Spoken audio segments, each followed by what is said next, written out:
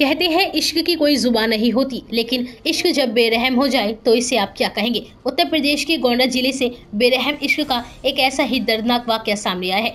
यहाँ एक लड़की के साथ मोहब्बत, फिर शादी और फिर ऐसा उसे धोखा मिला कि सब लोग हैरान रह गए। जिला महिला अस्पताल में ज़िंदगी की जंग लड़ रही महिला अब खुद की कहानी बयां कर रही है। दरअसल, अयोध्या ज़िले का रहने वाले युवक ज्ञानेन्द्र चंद्र ने एक युवती नेहा से पहले प्यार किया और फिर उसके साथ घर से भागकर कोर्ट मैरिज कर ली। युवक की माँ को जब इस बात की जानकारी हुई तो उसके कहने पर युवक अपनी पत्नी को लेकर घर पहुँचा और फिर दोनों परिवार के साथ रहने लगे। इस दौरान पत्नी और माँ में छोटी छोटी बातों पर लड़ाई होने लगी, जिसके बाद युवक अपनी पत्नी की पिटाई करने लगा।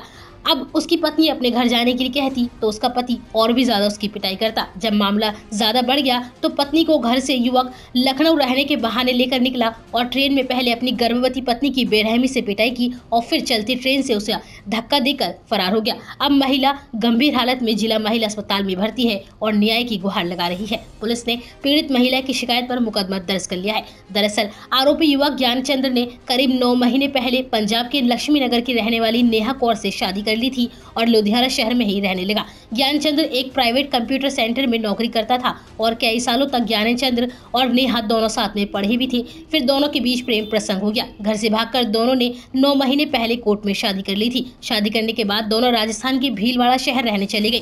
वहीं कुछ दिनों तक साथ रहे। बीते नवंबर माह में ज्ञान प्रकाश पत्नी को लेकर अपने घर अयोध्या आ गया। अस्पताल में भर्ती नेहा कौर ने पुलिस को बताया कि छोटी छोटी बातों को लेकर उसका सास के साथ झगड़ा हुआ करता था, जिसकी वजह से उसका पति उसके साथ जमकर पिटाई करता था, जिससे परेशान होकर उसने घर में मिट्टी का तेल डालकर आत्महत्या करने का भी प्रयास किया था। उसके बाद युवक लखनऊ में साथ रहने की बात कहकर रविवार को देर रात उसे अयोध्या रेलवे स्टेशन लेकर आया। जब दोनों ट्रेन में बैठ गए तो पति ने ट्रेन में ही उसके साथ मारपीट करनी शुरू कर दी और उसे चलते ट्रेन से धक्का दे दिया। पूरी रात महिला नवाबगंज थाना क्षेत्र में अयोध्या के बीच बेहोश हालत में पड़ी रही। कुछ लोगों ने देखा तो इलाज के लिए जिला महिला अस्पताल में उसे भर्ती कराया। जब इस बारे में नेहा से बात की गई तो उसने बताया कि उसने अपने घर वालों से विरोध कर उससे शादी रचाई थी। उसके पिता शादी के खिलाफ थे। शादी करने के बाद वह कभी अपने घर नहीं गई।